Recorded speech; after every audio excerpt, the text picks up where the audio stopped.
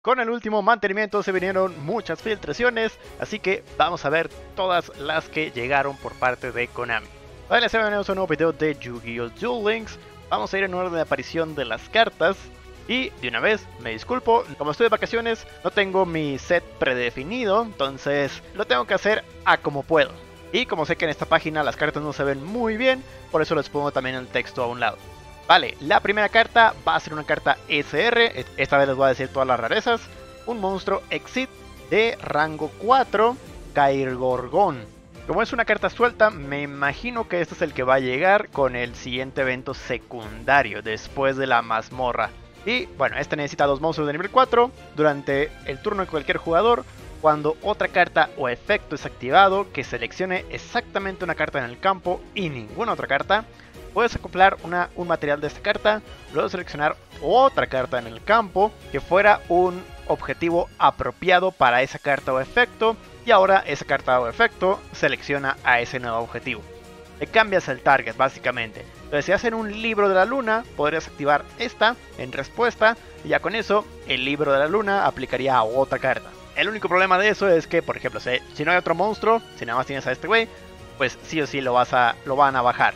Pero lo puedes cambiar a otro monstruo tuyo si es que tu oponente no tiene nada, pero si tiene algo, le puedes bajar a su monstruo. Entonces, más o menos, digo, la verdad es que me sorprende que la regalen, obviamente no es tan poderosa, pero sí, está bien. Luego la siguiente carta que debería estar llegando, esta sí también no sé dónde vaya a salir. Igual, podría ser del mismo evento y que el anterior sea de otra cosa. Pero bueno, es un sincro nivel 4. Este es un cantante de oscuridad más un monstruo que no sea cantante de tipo insecto. No sé qué arquetipos sean insectos o oscuridad como para poder hacer este fácilmente. Y dice, esta carta no puede ser destruida en batalla cuando esta carta declara un ataque y el ataque del objetivo es mayor que esta carta el ataque de ese objetivo se convierte igual al ataque actual de esta carta. Estos cambios duran hasta el final de la Battle Phase, cuando esta carta destruye un monstruo del oponente en batalla y lo envía al cementerio, envía las tres cartas del tope del deck del adversario al cementerio. Ok, no está mal, pero sí, esta sí la veo que la estén regalando.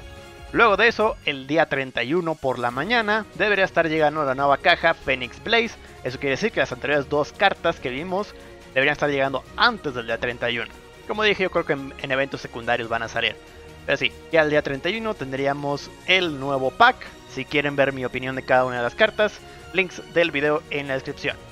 Y tal vez algo que no muchos sepan es que también va a venir un nuevo lote donde nos van a estar regalando las 100 fichitas. Recuerden que esto casi siempre es por tiempo limitado, casi siempre es hasta que salga la siguiente caja.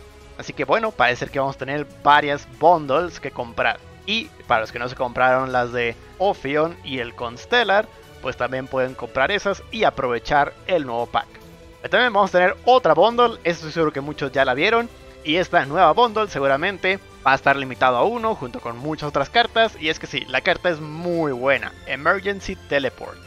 Es una carta de magia de juego rápido, la cual dice, invoca de modo especial un monstruo de tipo psíquico de nivel 3 o menor desde tu mano o deck. Pero destiérralo durante la end phase de este turno. Entonces, obviamente esto prefiere sacar un monstruo que pueda usar ya sea para un link o para un sincro. Y por suerte hay varios cantantes psíquicos ya dentro del juego. Creo que el mejor es la rueda, ¿no? Muy probablemente es con el que más se vaya a usar. Pero igual, hay varios otros arquetipos que son de psíquicos, como por ejemplo los cosmos que vienen dentro de la nueva caja, o hay algunos psíquicos en los Shadows. Así que por eso es que están sacando esta justamente ahorita. Y con eso terminamos con todo lo que tendrá que salir junto con la caja. Ahora sí, nos vamos a separado de la caja. Pero que muy probablemente el día 31 tengamos nuevas cartas en otros lados. Principalmente el PvP, la temporada del PvP. Eso quiere decir, vamos a tener una nueva temporada y con ella nuevas cartas. Esta es una carta UR que supondré que va a ser parte de, pero también viene otra carta UR que también pienso que va a ser parte de el PvP. ahorita vamos a ver. Este, Avida, es un monstruo civerso, nivel 11, no puede ser invocado de manera normal ni colocado, debe ser invocado de manera especial desde la mano. Si es que hay al menos 8 o más monstruos links con diferentes nombres en el campo y o en el cementerio. No puedes invocar esta carta por otros medios. La invocación especial de esta carta no puede ser negado. Si esta carta es invocada de manera especial, baraja todos los otros monstruos que son desterrados en el campo y en los cementerios a los decks. Ningún jugador puede activar cartas o efectos en respuesta a la activación de esta cosa. Uh, muy bueno, pero muy difícil de hacer. De hecho, básicamente en decks comunes y corrientes dependes de que tu oponente también haga links, porque tú apenas si tienes 8 espacios para links. Y que está muy difícil que puedas hacer los 8 links. Pero seguramente hay alguna habilidad nos va a meter varios links, así como otras habilidades nos ha metido de que fusiones, entre otras cosas. Entonces sí, yo creo que sí en algún momento va a ser útil esta cosa. Y sí, por, su efecto la veo mucho como para el PvP. Y bueno, la otra carta VR que quería mencionar, Nekogal número 2. Es una carta de Rush Duel, 1900 ataque, un sacrificio. Eso es muy común para Rush. Que sea UR, de hecho justamente metieron una carta igualito en el PvP la otra vez. Así que, pues sí, sí la veo como carta del PvP UR. Vámonos con el siguiente grupo de cartas. Siguen siendo cartas de Rush Duel. No se preocupen, todavía quedan cartas para Speed Duel. Estas de Rush Duel, donde un arquetipo eh, entero, bueno, no entero, la mitad de un arquetipo más bien, pero todas las que vamos a ver se supone que van a salir juntas y todas son de un arquetipo llamado Beast Year. Este es el arquetipo de El Hijo de Mimi. Y bueno, hay varias cartas vanilas, pero nada más estoy mostrando la SR, que es la de 1400 de ataque. Y obviamente todos son Beast Warriors. Pasémonos a la siguiente SR, el Trike Fox. Su efecto es requerimiento. Cuando invocas esta carta de manera normal ese turno y tu oponente tiene por lo menos 3 monstruos en campo. Su efecto es invoca de modo especial un monstruo de nivel 7 o menor, bestia guerrero, desde la mano, boca arriba en el campo, tus monstruos de nivel 6 o menor no pueden atacar ese turno. Entonces básicamente quieres invocar un monstruo de nivel 7 sí o sí, ahorita lo vamos a ver, va a ser el UR. Y la otra SR es un monstruo de nivel 8. El requerimiento es enviar dos monstruos de nivel 4 menor boca arriba, bestias guerreros, desde el campo al cementerio. Y el efecto es, esta carta gana ataque igual al total de niveles de dichos monstruos enviados al cementerio por 100 hasta el final de ese turno. También ese turno solamente puedes atacar con esta carta. Y solamente puedes declarar ataques a monstruos que estén en posición de ataque. Pero puedes atacar a todos los monstruos del oponente una vez cada uno. Entonces, este puede farmearte muy bien al oponente. Porque podrías tener alrededor de 4000, 5000 de ataque y hacer mucho, mucho daño. Y la última carta, la UR, la que suponemos que va a ser la insignia del arquetipo. Y es el de nivel 7 precisamente. Emperor Catapult Kong. Requerimiento, enviar dos monstruos boca arriba de tipo guerrero bestia, otro que sea esta carta. Y el efecto es destruye monstruos en posición de defensa que controle tu adversario igual al número de monstruos que enviaste al cementerio para cumplir este requerimiento. Eso quiere decir que si envías a dos, puedes destruir a dos. Muy bien, no está mal. Siento que el otro SR podría darte más jugabilidad. Pero bueno, como dije, todos estos en teoría vienen al mismo tiempo que los del PvP y se me hace muy raro que sea todo un arquetipo. Por tanto, lo único que puedo pensar es que esto es otra estructura.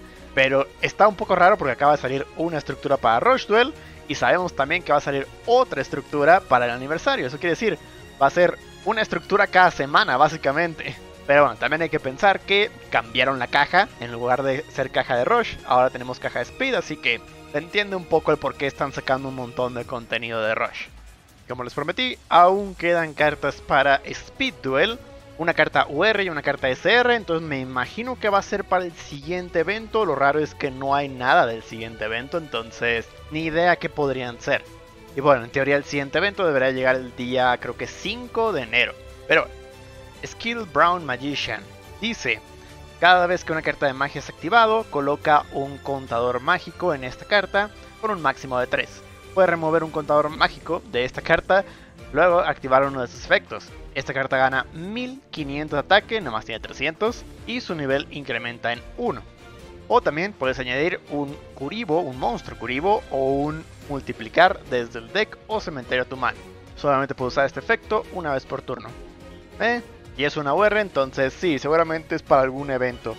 Y la carta que lo acompaña es la SR, Mimicking Man Eater Buck.